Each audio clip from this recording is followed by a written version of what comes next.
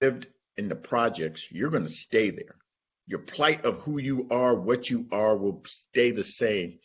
And if you do get out, then there's a criminal justice system that will bring you back and imprison you in a different way. We can't imprison you, and I think at that time we had 150,000 people in prison. We can't imprison you the other way. Uh, we'll imprison you this way. And so I know we your your research talking about public health, but I think this is also a public health crisis um, as far as the criminal justice system and how it impacts everything you just said um, in, in a most adverse way. So, do you have any ideas or things that that we could do to kind of reverse that too? Because we got to have some solutions to that. Because at the end of the day, um, everything we do um, the 13th Amendment and that little clause will continue to haunt this, will haunt Black people forever. Mm. It's such an important issue. We actually have a report that's going to be coming out about it, probably in the course of the next month. Um, and it's really focused on um, the kinds of investments in community that keep us safe without delivering the kind of harm um, that we see coming out of the incarceration system. And BARHII had supported, um, you know, a, a, number of reforms over the last handful of years, really focused on this issue. We think mass incarceration has huge health impacts. I'm not think it, we we see it in the data, um, and so we're going to be sharing some more information about that soon. Um, yeah, your point is, I think, very well taken and it has and, and the impacts um, like health show up in mm-hmm. every social determinant right yes yeah it's it's this is this is one of these interlocking just as i talked about the interlocking of the the education impacts the public education impacts and you want to create more doctors but if i'm training you to be a rapper or a football player or get involved in the criminal justice system if that is your base i went to usc where they had generations and generations of doctors, lawyers, engineers, architects, and they were proud of that family heritage. If your family heritage in that is something based in the criminal justice system, how do you break that cycle so that you uh, do some do a lot better than what you what your your forefathers have done? Yeah, and I think there's also an opportunity through reparations to be funding um, uh, Black education facilities, um, uh, Black-led training programs that create a lot of the Black doctors, a lot of the Black medical community, um, and not just doctors. I think that's true for education and all of our systems. We do see the impact of having us in positions of leadership and direct service in our systems as having a really important impact. And I think um, any ways that we can create more opportunities for us to be managing resources and able to do that, I think is really important. But I, I assume the question is for, for others as well. Uh, Madam Chair. Yes, Vice Chair Brown, you're recognized. Thank you, Madam Chair. Members of the task force. I'm here in San Francisco. I've been here for 46 years. One thing I want to correct the black population is not 5 to 6%. It's more like 4%, 3.9 to 4%. Number two, let me say respectfully, there's one piece maybe we need to look at. The fact that when a people lose a sense of place, a sense of place, it does have adverse psychological fallout. What am I talking about? It was in 1948 when a so-called program of urban renewal was created by Alioto and Justin Herman that the public policy makers, the social engineers, and members of governmental agencies decided they were going to create what was known as black removal. That's what it was. It was systematic black removal. Every other ethnic group. I'm a historian. Though they were oppressed, they always had a sense of community and place. Place. But that's not happening in San Francisco. The old Fillmore is practically no more. Back in the 40s, we did have a sense of place. There was a Harlem of the West. But through public policy, I repeat, and I have documents that underscore this, the redevelopment agency pushed black folks out. So that consequently, the only place where we have maybe the last vestige of even ownership of black folks is that heritage building on the corner of Ed and Fillmore, West Bay, and some beauty shops. You don't ever see black folks in this town unless you go to the barber shop or the beauty shop. That's it. That's a fact. And I hope that we will consider, as we discuss reparations, that wherever in this nation, whether it's South Central Los Angeles, even old sweet Auburn Avenue in Atlanta, Georgia, 14th Street in Washington, D.C., when you destroy those ethnic, cultural watering holes, you create a syndrome in which people don't have a sense of place. Other folks got Chinatown, Japantown in this town, and even you have Little Italy, North Beach. Over in the Mission, you got the Latino community, and the white folks got most of the financial district in this town. So I hope that we will remember these salient social historical facts as we consider this matter of reparations. And we need to rebuild these places where we gathered like other folks have done to perfect, protect each other against this racist society. Thank you so much, Madam Chair, for letting me share this. But the old preacher, I'm, I'm on the stump. We have got to have a sense of place and stop pushing folks around. If other folks can have them, we should have them. What's good for the goose is good for the gander. Let somebody say amen. Amen. Thank you for that. Um, Member Grills, you are recognized.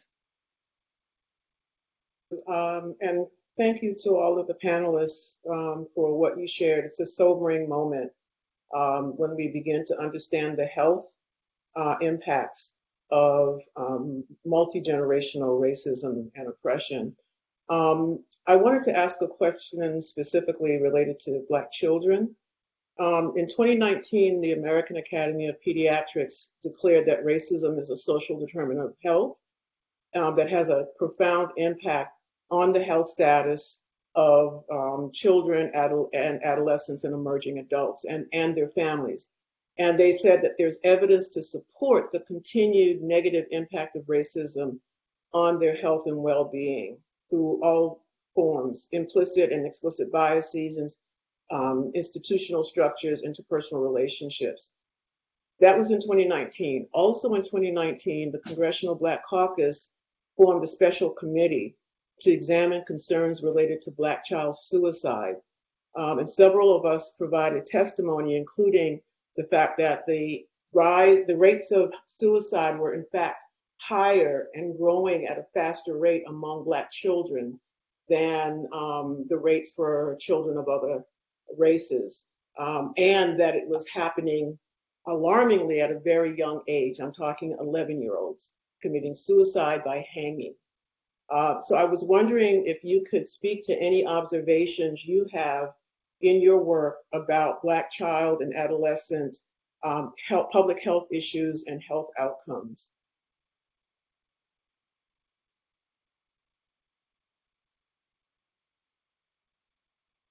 And if I'm putting you on the spot because you weren't necessarily going to speak to children, then um, that's fine.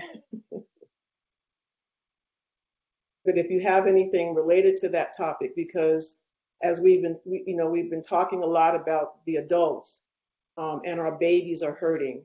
And I don't want to lose track of what's happening with our children.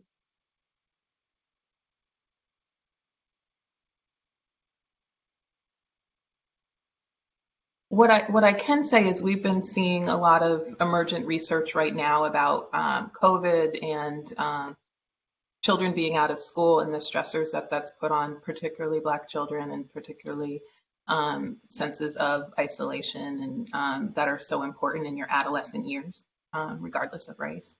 Um, and so I, I think we we've been seeing more and more of that, but we haven't pulled it all together yet into into um, the understanding of the COVID experience and what what must come next.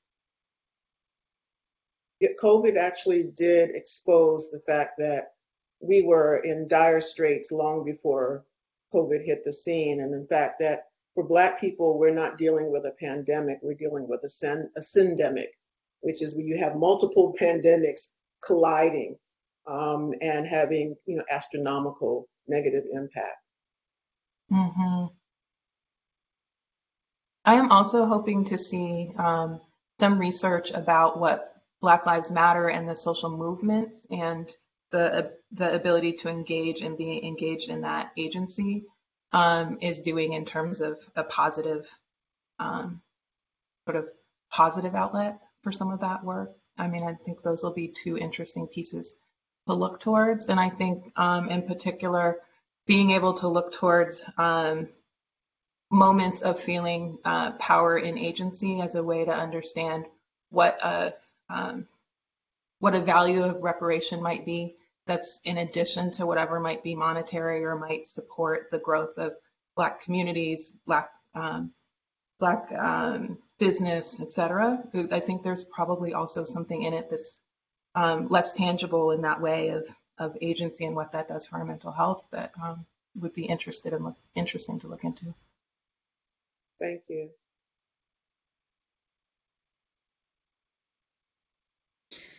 This is, yes. Oh, uh, Dr. Sachs, go ahead. You're recognized. Sorry. Thank you, uh, Chair, Chairperson Moore. Um, I wanted to just say that I, although I don't work on children's health issues or children's mental health issues, I just wanted to point out a friend and colleague. Her name is Janelle Goodwill, um, and she is a young Black woman professor who works specifically on suicide among Black youth.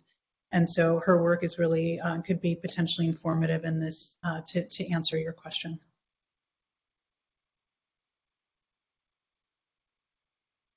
Thank you so much. So it is now uh, 3:14, which it'll soon be 3:15. So we will conclude uh, witness panel number two, our panel on public health. On behalf of the esteemed members of the task force, I would like to thank Dr. Roberts, Dr. Sachs, um, Brett Andrews, and Melissa Jones for your wonderful, um, insightful, compelling expert testimony. And we look forward to staying in connection with you all um, as our work uh, progresses. So thank you again.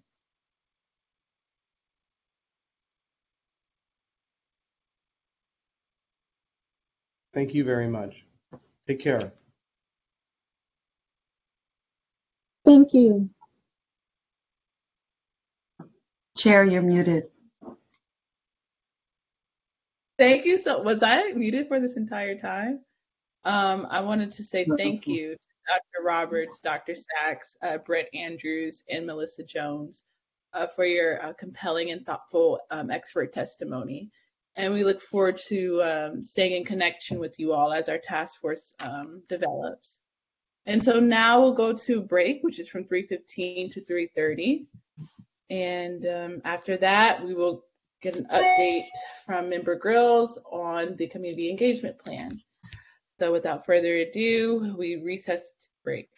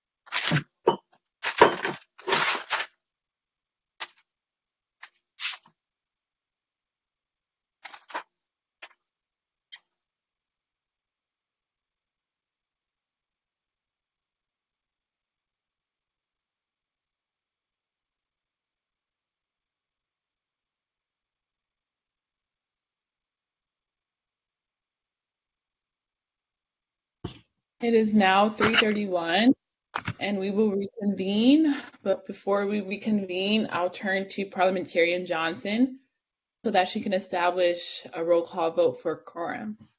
Parliamentarian Johnson.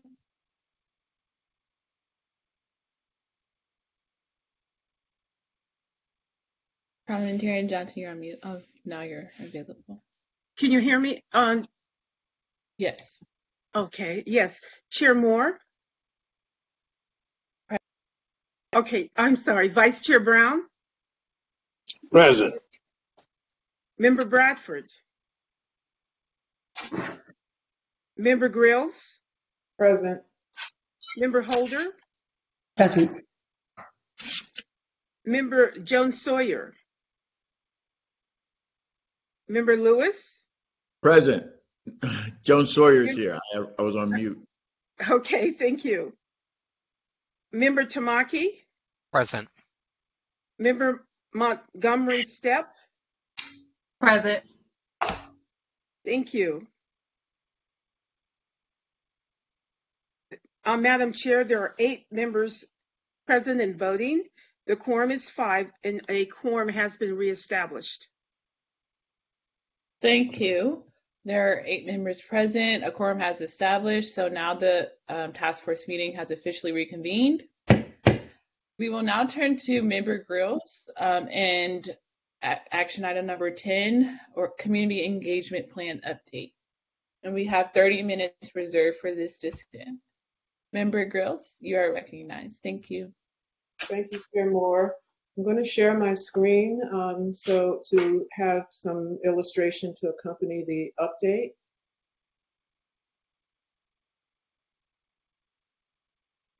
Can folks see the um, screen okay? I can't, okay, thank you, because I can't see you. All right, so um, um, it's actually a pleasure um, to share updates because we have uh, made a lot, uh, covered a lot of ground and, and um, um, made a lot of um, uh, important um, decisions. So starting out, in terms of summarizing what's been accomplished to date, there are five things I want to share. Um, and starting with the anchor organizations, we now have seven anchor organizations that have been selected and are part of the community engagement process. These anchor organizations are statewide organizations with or organizations with deep regional roots, um, and they have members or affiliates in multiple areas of the state whose um, uh, who have the capacity to tap into those affiliates or those those um, what I call tier two organizations to help with any community engagement process. The seven anchor organizations are listed here for you. And these anchor organizations have networks that extend from 8 to 30 plus organizations each. So, for example, the anchor organizations cover a variety of regions uh, of the state from northern um, and, and Northern California to Southern California, Inland Empire, etc. Uh, for example, one anchor organization that's here that you see on the screen actually has an alliance of over 30 grassroots organizations um, in, in, in 16, with 16 um, anchor groups uh, spanning 14 counties across the state. So these are community-based organizations spanning urban, rural, and suburban counties in California. Um, they also represent a variety of constituencies, faith-based, youth, incarceration, voting rights, arts, philanthropy, greenlining and housing, uh, discrimination, redistricting, college students, cooperative enterprises, uh, and civil rights organizations. We also have selected the communications firms and they, their work has launched.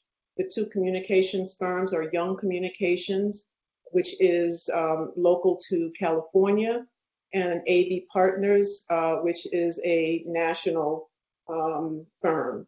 We also have um, convened the anchor organizations and the conveners uh, and the listening session facilitators have been selected and are engaged you know, in the work.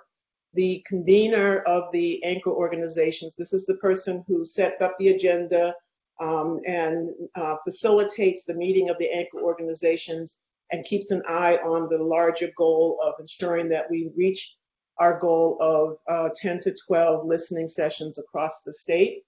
Um, and so that's Mary Lee. And then we have a professional um, facilitator, uh, and her name is Ama Nyamekye, and she um, runs an organization that she founded called Good Influence. We've already held the first um, listening session, um, and that was held by the Afrikan Black Coalition, which is a, um, a network of um, Black student organizations across the Cal State and UC schools.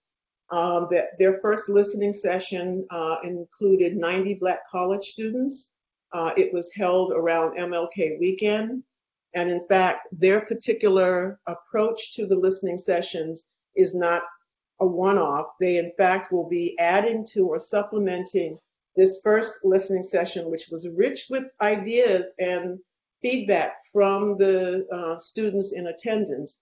But they're supplementing that listening session with college campus visits, um, where they're going to, to do a deeper dive into what the concerns and perspectives are about reparations from Black college students, and also to gather stories about the harms uh, experienced um, by our students. The fifth area is funding. So while the community engagement process did receive some financial support from um, resources within the state in, um, in terms of the Department of Justice, we also needed to supplement that so that we could have a robust uh, process. And so what we were able to do thus far, um, working with the Bunche Center, we have a grant from the California Wellness Foundation, and we have meetings coming up in the next uh, two weeks to add to the funding that the Wellness Foundation has provided.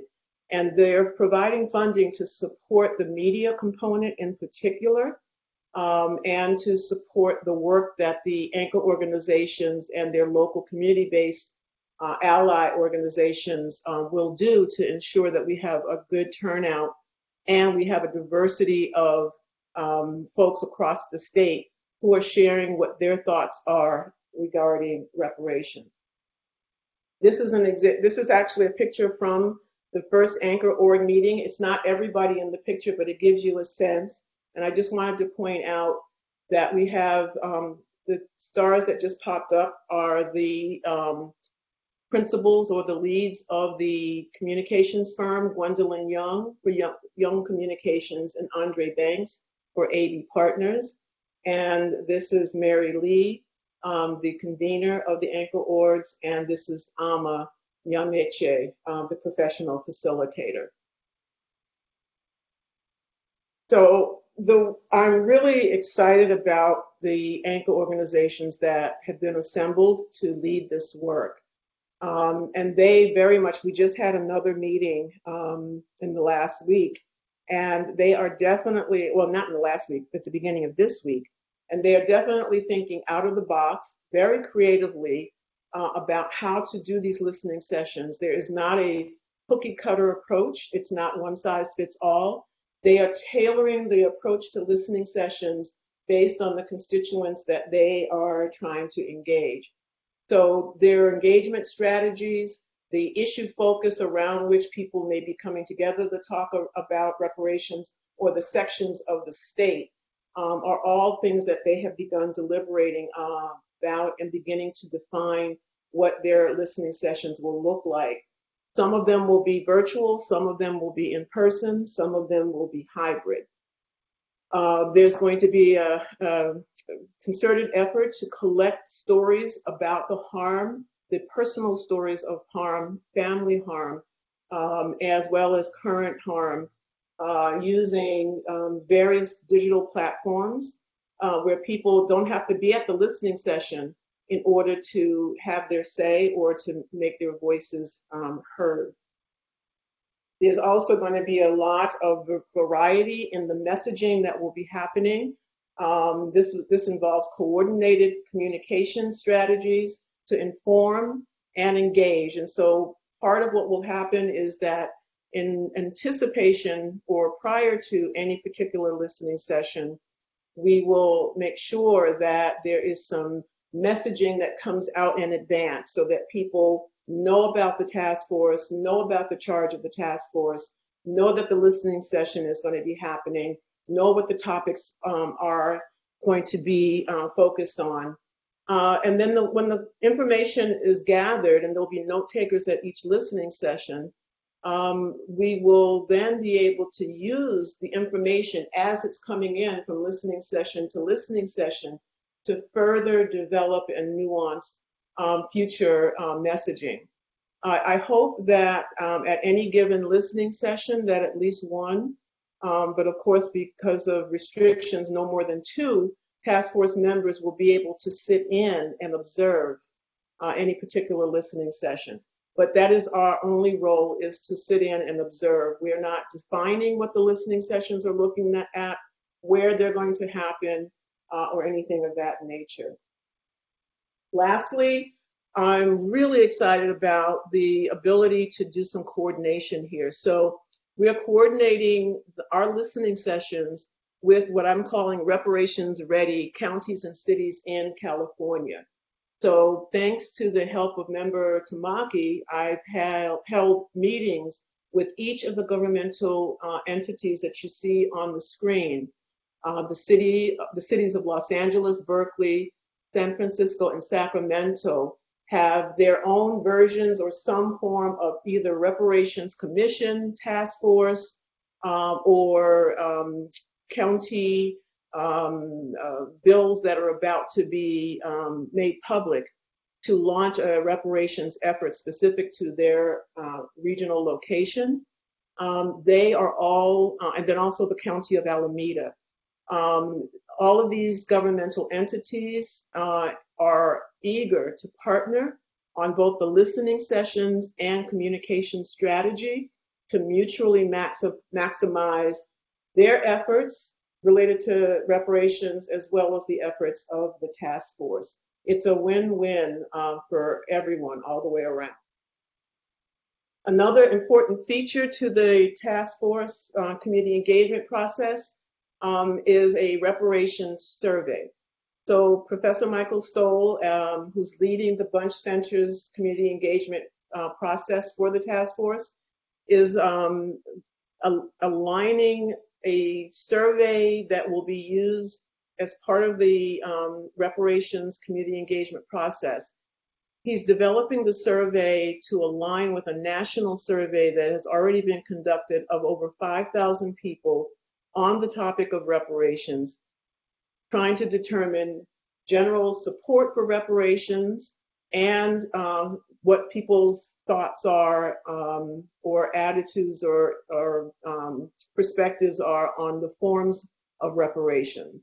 Our task force survey instrument um, is going to query opinion about reparations in California specifically, but we will be able to compare what California looks like with the rest of the country.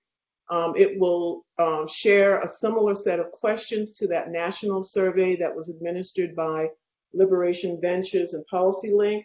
Um, and there will be, um, for California, a representative sample of about 2,000 um, uh, residents in California. It will include more questions than the national survey. Um, for example, it will include some information about how much support there is for different types of rep reparations, eligibility um, perspectives people have, um, and um, we'll be able to look at demographics. Like, it, it, does everyone feel the same, or does one particular demographic, let's say an age group, or gender, or location in the state, um, have a different um, perspective or opinion? Um, there, we hope to go into the field, or Professor Stoll, because he's leading this, um, within the next two months. So those surveys will be administered at the listening sessions, but they'll also be administered above and beyond the listening sessions to that random representative sample statewide. Uh, so again, there's reparations opinions that will be gathered. It'll align with the national, that sample of 2000. um, and uh, launching in the next two months. And that data should help to inform us truly what is the community perspective writ large across different um, sectors uh, of the community of the community of California, and in particular the Black community in um, California. In terms of the communications firms, I just wanted to share that they have developed a communications framework. I'm not going to try to explain this framework to you. They presented this to uh, several of us um, a week ago, but they have identified milestones and a framework that looks at issues such as mass awareness, community listening, story, story collection and training, advocacy um, and um, media, how to amplify the process and outcome of our work um, in this area. So that's just a kind of quick summary, and I'd like to open it up to any questions uh, at this time, and I will stop sharing my screen. Okay, thank you, Member Grills, for um, such a comprehensive uh, presentation. Um, and for all the work that you've been doing behind the scenes to make this community engagement process a reality. Um, I'm incredibly indebted and, and, grateful for the work that you've been doing on this.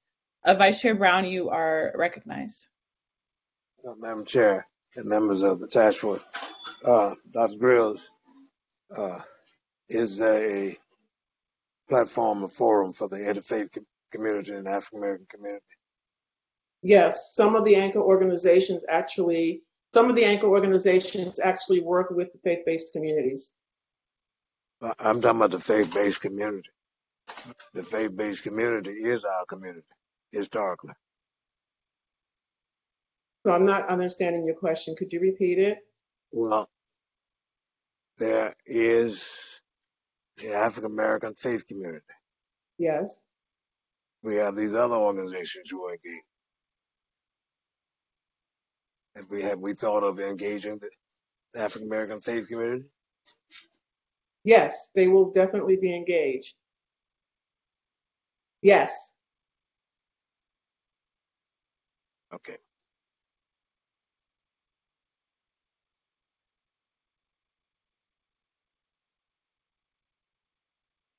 Member uh, Montgomery Steppe, you're recognized.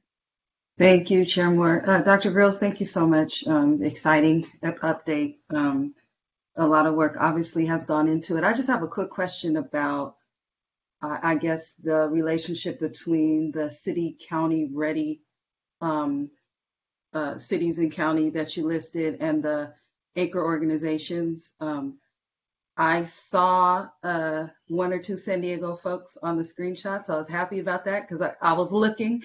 Uh, but um, but also we're not on that list mm-hmm. um, mm-hmm. as a ready city. Um, mm-hmm. So I just want to know what I should be prepared for, how that will impact like listening sessions or anything like that. And and I, I would argue that that maybe having a city council member that serves on the task force could maybe qualify us in San Diego. Um, but I just want to know the relationship or how you plan to set that up. Right. So in terms of um, reparations ready, that really only meant that these particular governmental entities already had something in motion. We did not approach them and say, do you want to? But rather they are already they've already set things up or they they're doing work behind the scenes to get board motions out and, and before the public. And so that's why we call i call them kind of reparations ready. Okay cool. So they'll be just they'll be there as uh, additional support in your efforts with the anchor organizations and all the the the events that we're going to be planning. Okay all right. More like collaboration. So let's say that an anchor org is going to do a listening session um, in um, Los Angeles. Um, and so, and the, you know, the city of Los Angeles has a reparations commission. We're going to share information. That listening session is going to be happening on this day with these details. This is the messaging. You want to share, you know, information. You want to, you know, put add your your email list or your list serve to ours to get as many people out as possible? Do you have any input you want to give on the messaging because you understand your location better than anyone else? That kind of collaboration. Okay, got it. Thank you.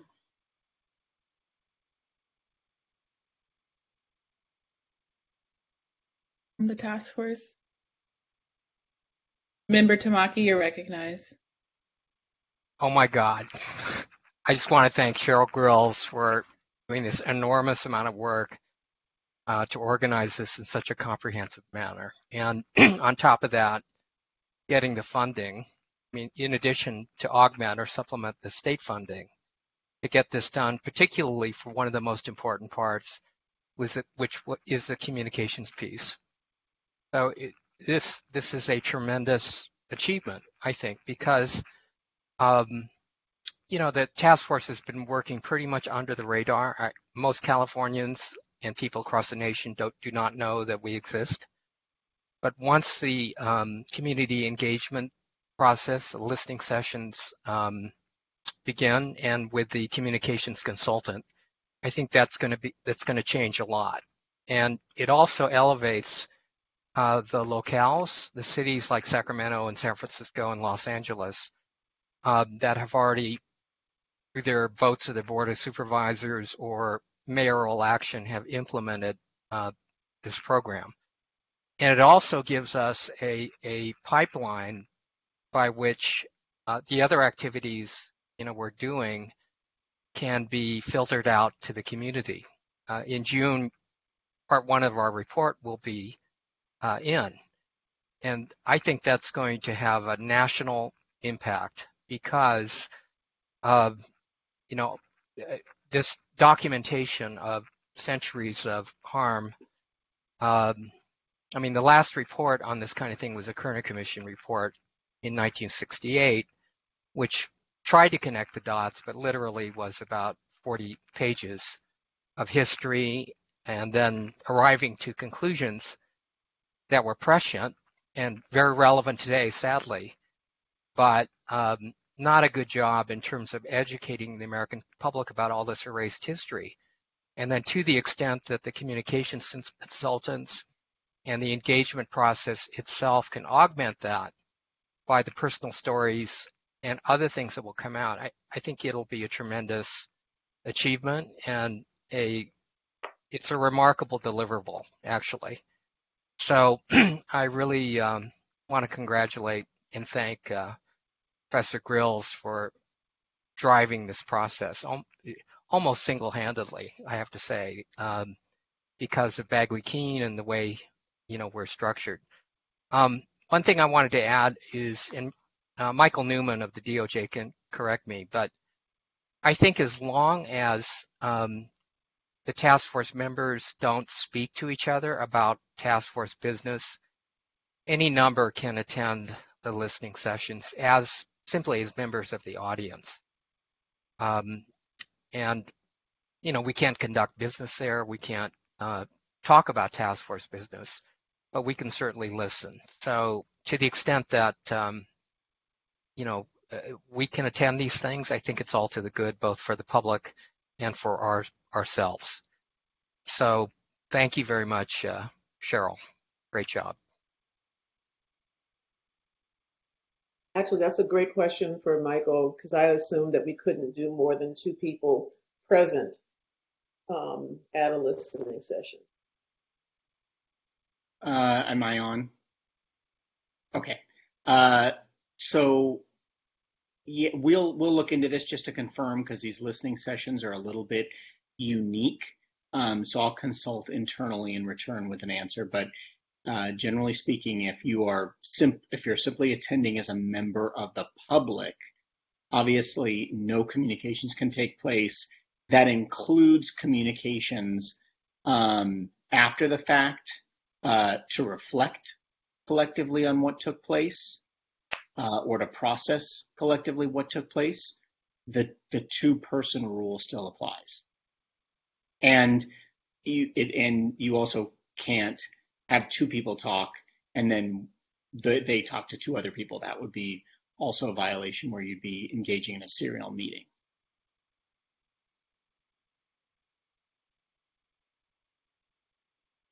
I think Member Holder had her hand. up.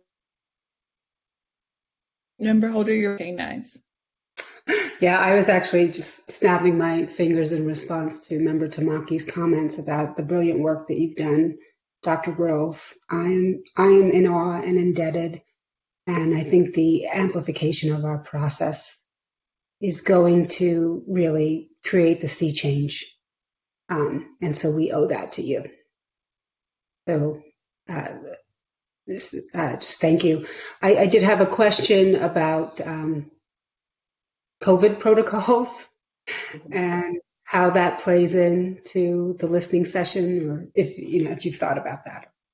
Yes, so that, that's something that the anchor orgs will deliberate about at their next meeting. I'm sure that will be on the agenda. The first listening session actually ended up being a hybrid.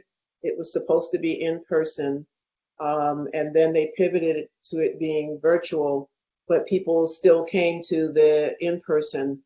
Um, and so they ABC followed their um, UC and Cal State protocols, I guess, around um, um, mitigating COVID risk. Um, but I think everybody will be kind of, as they go, seeing where things are at, determining whether or not something can be in person or not. Um, so that, yeah, that's to be determined as they plan.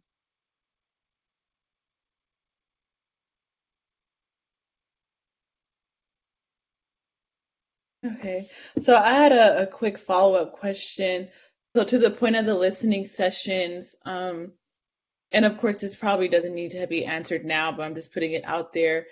Um, how are task force members like supposed to obtain, you know, any information based on the listening session? So I guess, you know, there was a listening session that happened earlier this month with ABC.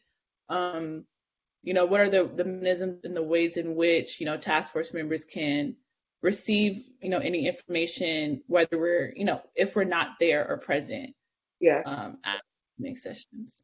That's a good question. So Bunche Center is actually creating a portal um, that um, the for the anchor orgs to um, share information um, as well as to um, be the con- uh, having a container to uh, have the um, the audio, video, and um, summary notes, um, for example, from any particular listening session.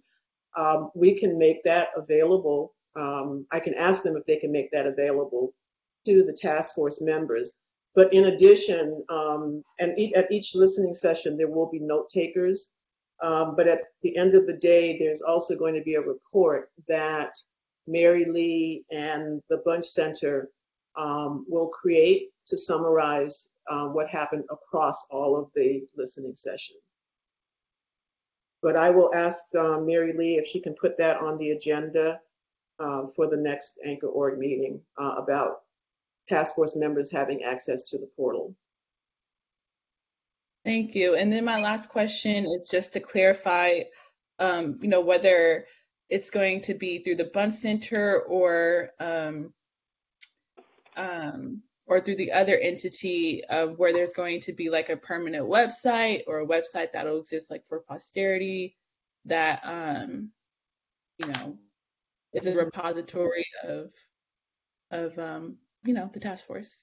Yeah, so th- there was actually some discussion about, um, you know, these stories are going to be critically important, um, and I would imagine very revealing about the harms, particularly as they relate to California.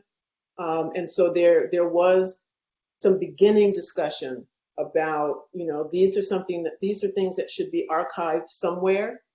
You know, whether that is like the African American Museum or you know a museum here in um, California or a library here in California.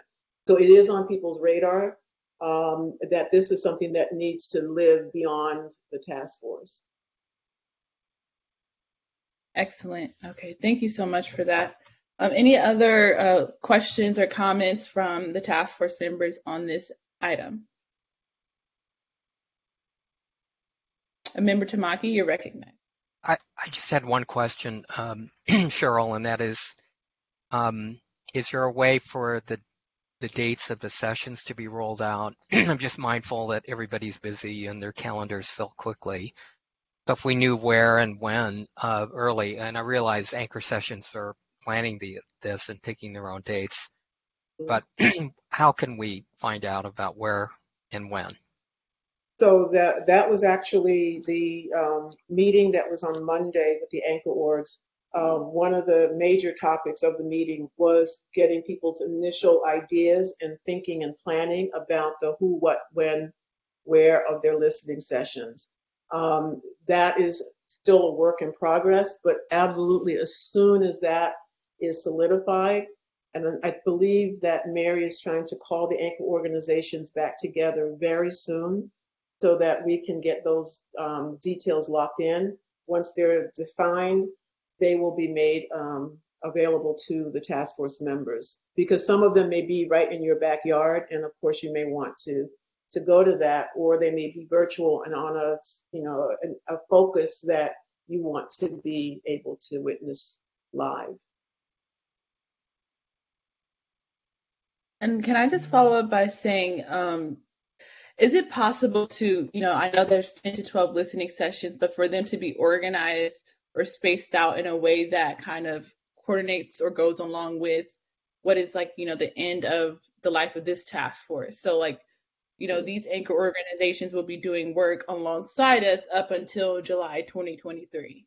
Um, yeah, so right now the anchor orgs are really working on a timeline um, that would have us getting a report from um, the Bunche Center in September. So if we end up going beyond that, then um, then I'm I'm back to the drawing board try, trying to get some more funding. I see. so, and and I have to also say that that's the case for the communications firms. So we did not set up an agreement with them that they're going to go beyond that particular period. It's clear they're going to be needed. So, you know, we, we need to be thinking down the road um, how to keep them engaged, you know, past the conclusion of all of these listening sessions. So we pretty much aligned the communications work with the um, with the listening sessions. Okay, so the scheduled end date for them is September of this year. Mm-hmm. All right. Yeah, but we, but we, I- like I said, we know that we are definitely going to need the help of the communications firms well past that, especially by the time we get to the second report. Well, thank you again, uh, Member Grills, for your presentation and, of course, for the work that you've been doing on this very important uh, part of our our um, process. So now I'll turn to um, agenda item number 11, which is potential action item report dictionary update, uh, which consists of an update between uh, myself and member Jones Sawyer. It, um, I'll turn to member Jones Sawyer, and we have 15 minutes for this discussion. Uh, member Jones Sawyer, you are recognized. Right. Thank you. Um, so uh, the chair and I met, and we kind of preliminarily kind of went over some of the the, the phrasings, the things that we wanted to talk about. Um, in that discussion, um, I reminded uh, Chair Moore that this process, whatever language we come up with or whatever we proceed going forward, also needs to go through a um, through what is our ledge council, and they're the ones that it will actually, whatever we recommend, they will actually write either the bill and or the budget um, language that will then come to the members who will eventually vote on whether up or down on what we will, um, as far as reparations are concerned, um, do. Uh, from my experience, in, in, in uh, Senator Bradford was were on the on, on the call, he would tell you, and no disrespect to the lawyers, lawyers have a way of talking which is different than what we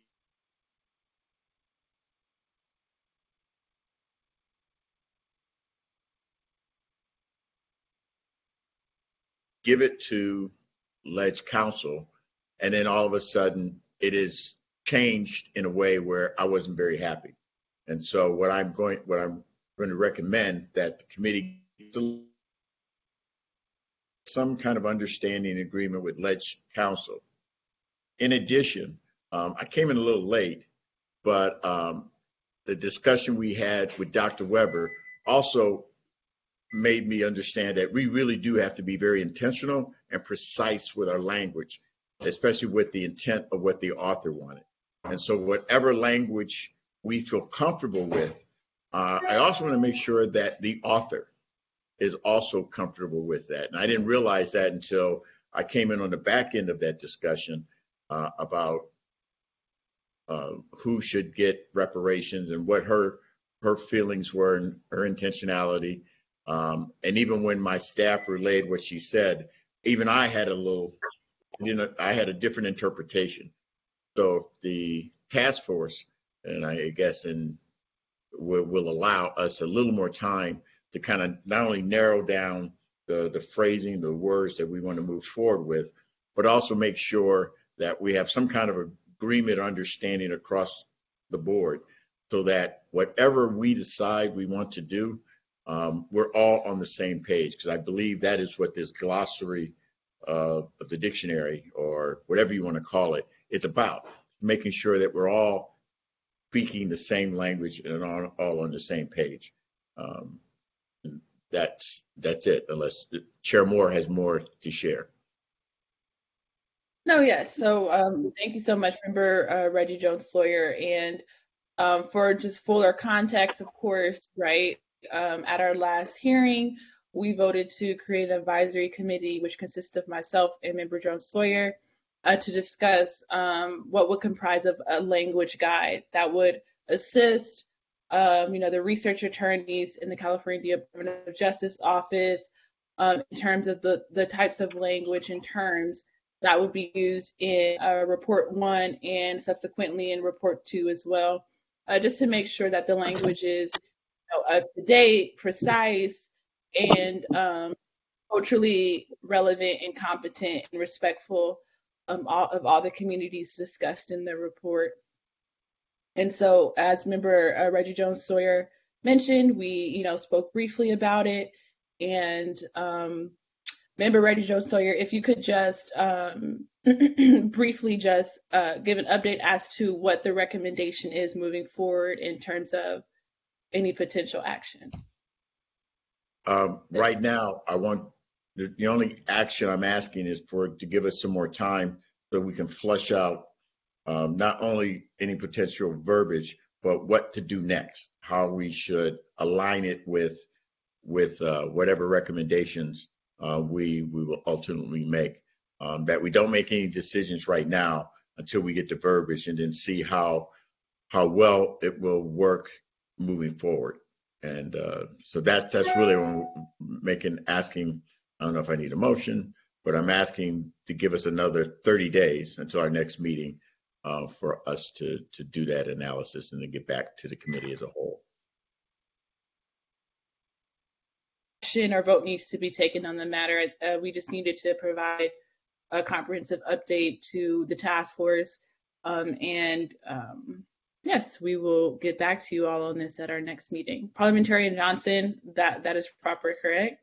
I think I think that is probably fine. I my, when I I say probably only because I don't have the minute portion before me to say whether or not when you authorized the task force to meet, did you limit it to this time? I thought it was just to work on the project. If it was to work on the project, you're fine. You've given a preliminary report and then you're going to come back with the product.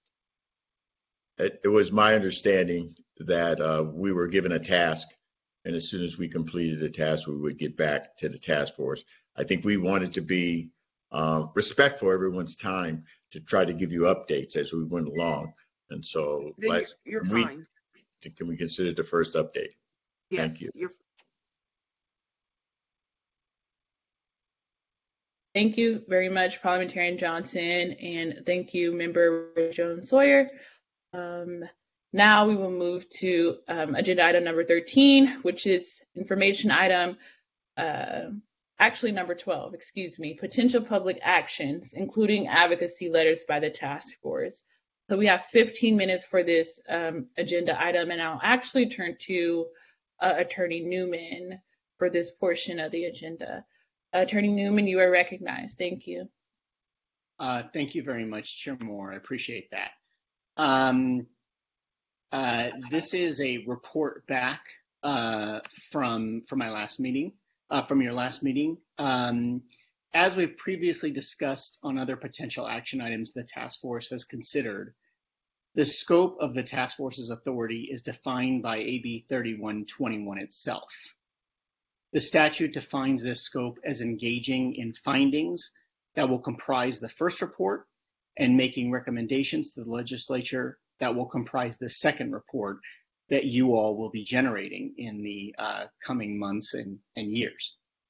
In your last meeting, you requested that I explore the potential authority of the task force to engage in public actions, uh, such as sending letters of support to other reparations initiatives or federal reparations actions. Uh, and uh, I am now reporting back to say that unfortunately, um, AB 3121 does not authorize the task force to do so.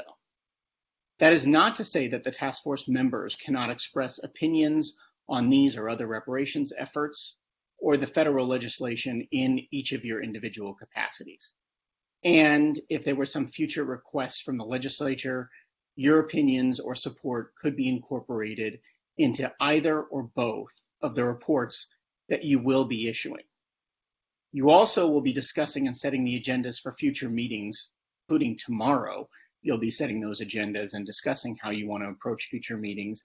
And in those meetings, you can certainly invite witnesses to provide testimony that will highlight other uh, reparations efforts around the country and support other reparations efforts around the country.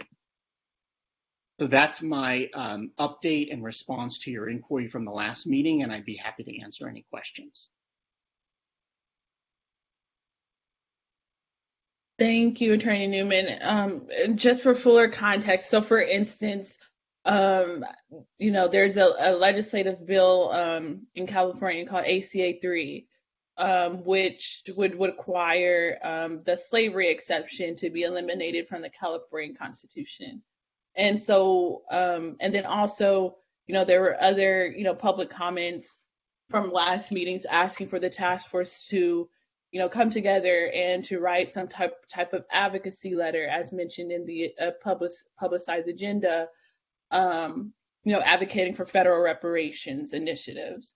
So from what I'm hearing that you're saying, you're essentially saying in either of those contexts, um, the task force is not able to, um, you know, convene in that way, um, right? Just clarify. Yeah, unfortunately, um, the task force's scope is really defined by the statute. So uh, the statute really calls on the task force to advise the California legislature as to reparations in that scope unless the legislature were to ask for the task force's opinion or recommendation on those other items, the other pending California legislation, the pending federal legislation, or task force activities that are, or reparations activities that are happening in other states. It's really not within the scope of the statute as written. Um, but as I mentioned, there are other outlets in addition to individual task force members, um, you know, weighing in on those. There is um, there is the option to bring people into the task force for their testimony and incorporate that information into your recommendations, such as recommending that the California legislature um, support uh, federal legislation or or other recommendations that are included in the report that's mandated by AB 3121. Thank you. Reggie, uh, member Reggie Jones Sawyer. And, and, yes. and just to give another example or another way we could cooperate, but let me first start with in full disclosure, uh, it may sound self-serving. For example, I have a bill to give state employees a holiday, Juneteenth. Um, that is something we may want to incorporate in the in whatever recommendations we make to the legislature when we finish our final report. Obviously, I would love for the task force and every task force member to advocate on behalf of my bill. Um, but as uh, Mr. Newman has said, that may not be the appropriate methodology to do it. But a way we could do it, and again, I'm not advocating one way, it's just as an example, um, and Mr. Newman can correct me, if we were to put that in to our legislation, or if we could make that as one of our, our recommendations moving forward, that could be one way when we finish the report uh, to, to make some of what we want known. Yeah, yes, doing something like that through uh, amendment legislation or future legislation would be certainly change the change what's permitted.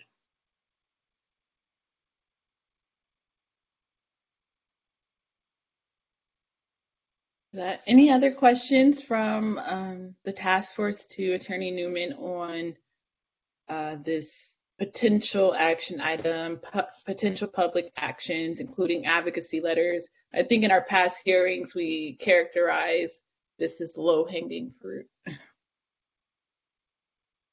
Member Tamaki, you're recognized. Thank you. well, this, this is not a question to uh, Michael Newman so much as just an observation. So, one of the resource materials um, I think that Kamilah um, was referring to, and and me as well, was the guide that was uh, created by the Ohio State University Divided uh, Communities Commission, which um, the project studied truth commissions both domestically, internationally, redress and reparations efforts both internationally and domestically, and uh, came up with you know certain criteria uh, in terms of the varying degrees of success of each of these sort of efforts. And one of the um, one of the recommendations for um, this kind of project is to see if we can have an early win, an early victory, low-hanging fruit, so that we don't wait until you know June of 2023 to announce our existence. And so I think um, in that spirit, the chair was was mentioning this. I think it's a great idea that we we try to explore these things. And I think there are things that are coming up that we ought to think about. Um, and as I said, until now, we've pretty much been flying under the radar screen. But I think when the uh, part one of the report comes out, because it is so groundbreaking, uh, and because it will issue with the imprimatur of the state of California, uh, that's going to be a big deal. And for example, maybe we ought to think about when it is released, um, how we make that accessible to the public in ways that it could be used uh, immediately by educational institutions, by groups, by the faith community, by civil rights organizations, uh, by young people. You know, maybe there are things that can be translated within it into um, bits and pieces because it will have 12 chapters, but there may be a focus, for example, on housing or on, on public health that we heard today. I mean, some of these stories are, they're absolutely jaw dropping, they're gut wrenching, and they're so indicative of, you know, how to the degree in which this history has been erased. And so um, the fact that um, some of this stuff, even though it's over 100 years old in terms of when it happened, the fact that, you know, it's newsworthy today, you know, whether it's Tulsa or there was a Washington Post article on its uh, research, uh, you know, identifying over 1,700 Congress people that were slaveholders, things that are, are part of American history but are largely unknown. And I think this is part of the task force's charge to educate the public. And, and this is probably what a racial reckoning means. It, you have to take a look at what's happened and reveal it, shine a light on it. So I think, um, and that's something maybe together with the task force, the communications consultant and the DOJ, we can all work together and time this. Um, and I, I, think certainly that would qualify as an early win. Uh, a low hanging fruit, you know, that would get us, you know, on the both on the scene in California and and on the nation. Um, the community engagement process, which Dr. Grills talked about, I think that is also an early win uh, because it's so unprecedented. Uh, the Japanese American redress hearings was a game changer for our community. Uh, really moved the needle of public opinion. Um, I'm hoping for you know a similar outcome uh, when that starts, and that is also I would call an early positive you know accomplishment. Um, Friday tomorrow, uh, Lisa Holder and I will talk about um, the task force's exercise of its powers to compel uh, state agencies to produce information and data. Um, and that might also qualify as sort of something that um, the public will, will be very interested in that will benefit both the task force's report and also um, public information. And this is in connection with um, race uh, uh, data uh, uh tracking race of uh, charging, sentencing, diversion decisions, um, and so on. And so we'll leave that for uh, Lisa to present tomorrow, but that's also uh, something.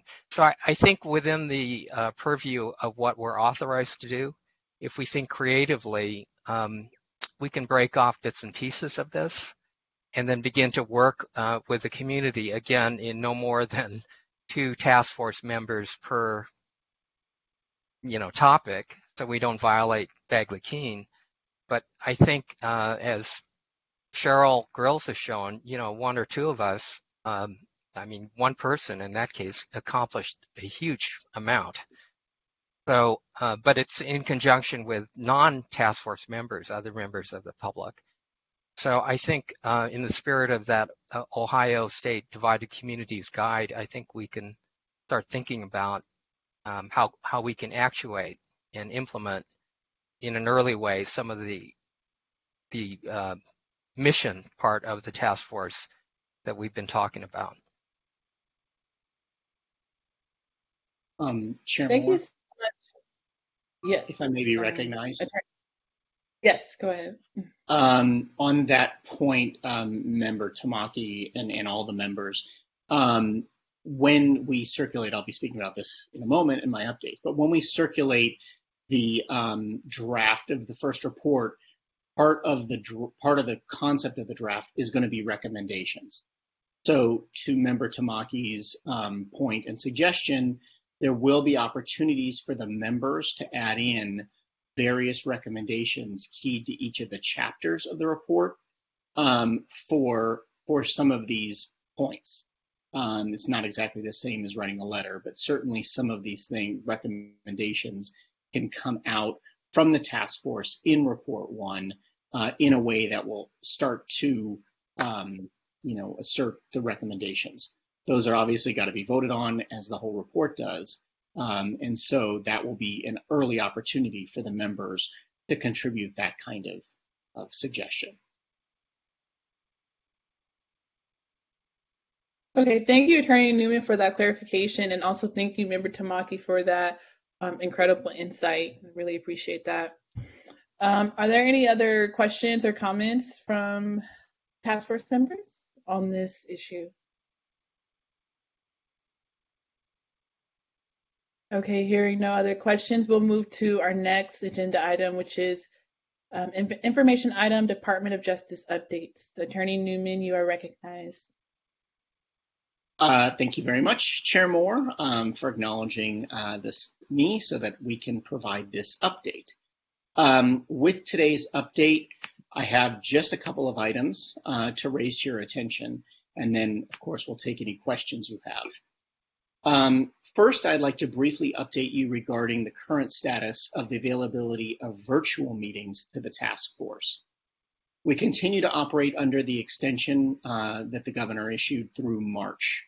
Tomorrow, you will hear from the chair and member Scott Lewis about a potential plan for moving forward uh, with the task force's meetings.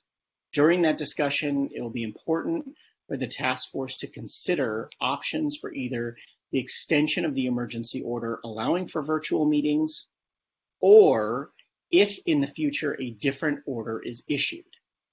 Specifically, it will be important for us to know your collective preference for virtual or in-person meetings should virtual meetings become available after the task force has already scheduled a meeting in person.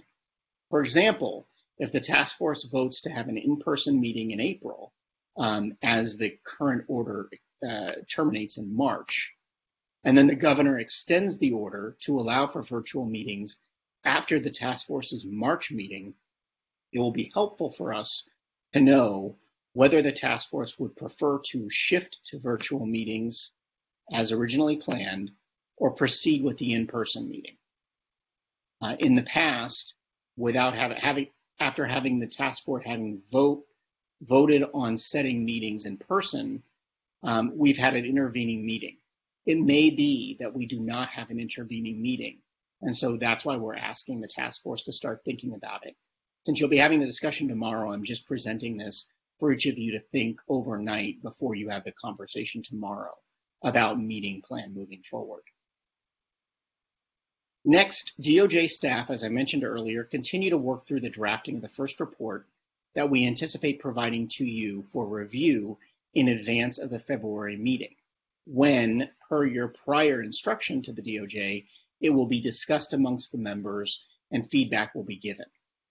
We will then endeavor to work closely with you to complete and finalize the report in advance of your vote to adopt it in April so that DOJ has sufficient time to format and post the report by the statutory deadline of June 1.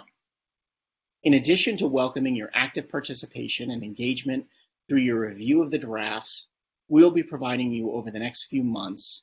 Uh, I wanted to present for your consideration the option uh, to designate members of the task force to work closely with DOJ staff in, on individual chapters that they're either experienced on or knowledgeable about uh, or just very interested in to facilitate our finalization in a manner that most closely reflects your opinions, preferences, and positions. This can be done with individual designees or through one or more advisory committees that would work directly with DOJ staff to finalize report one.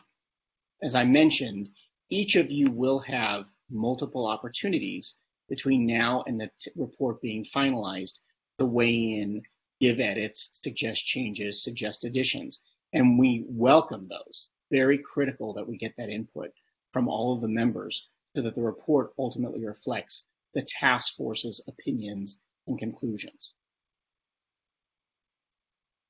That's the extent of our report. So with that, I thank you, Chair Moore, Vice Chair Dr. Brown, members of the task forces for the, of the task force, for providing us this opportunity to share the updates. And of course, I welcome any questions you may have about anything I've just discussed or anything I have not addressed. Thank you, Attorney Newman. So are there any questions for Attorney Newman from the task force on the information presented?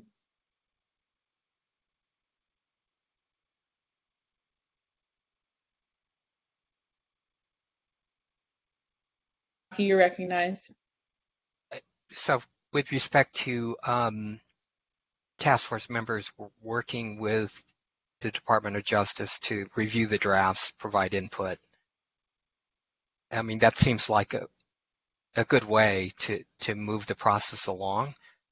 Um, is that something that the task force should be doing uh, before we end our meeting tomorrow, or what what is the is there a recommendation on how we we go about doing that? Uh, so according to the vote of the task force in the previous meetings, you'll be getting a draft um, in the February meeting for your discussion, consultation, and further direction. It's not coming up for a vote, it's just a draft. Um, so at this point, we're finalizing that draft uh, to get it in shape for it to be reviewed by, by all of you. Um, so I think probably would be something to consider in the February meeting um, at the time that you all review that. Um, and I say that because I think some of you may have particular interests, as I've said, in certain subjects. Um, some of you may have experience or education that aligns with some of the subjects. Um, ideally, we'd like to have you know direct as much direct task force involvement as possible. Um, again, so that it ultimately reflects um, your views. And when ultimately you all vote on a final version, it'll be helpful if there are differences of opinions or questions or um, interests in items that were either not covered or were covered and how they were covered. It, it'd probably be the most helpful to you all to have other task force members that you can engage with in the meeting when this is ultimately discussed and voted on. Um, so that's really what I'm talking about. It's not something anybody needs to volunteer for now for us. Of course, you, like I said, this is going to come to each of you, and we welcome each of your edits and suggestions directly to DOJ staff, um, either in advance of uh, or or during or after uh, the February meeting when it gets discussed. Um, it's our primary goal to make sure that the report reflects exactly what you all want it to reflect. Um, what I'm suggesting is um, if there's a desire amongst the task force to have, you know, even more hands-on involvement, it'd be helpful to have that sort of on a on a section by section basis, so people understand where their focus should be um, within the report, um, and so we understand who we should be engaging. If that's a, a choice the task force chooses to make.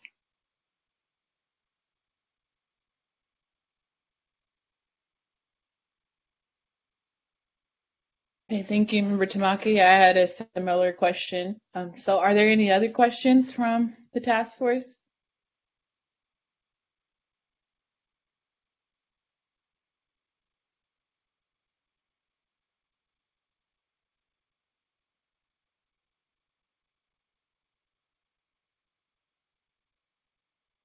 Well, hearing no further questions on infor- information item, um, Department of Justice updates, we will conclude that portion of the agenda. Thank you very much, Attorney Newman, um, for providing those updates. So the next item on the agenda is recess until tomorrow at 9 a.m.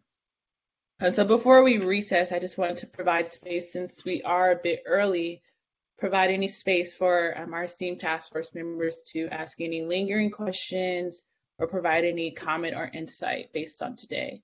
If not, we can recess. Okay, without further ado, this meeting is recessed and we'll see you tomorrow.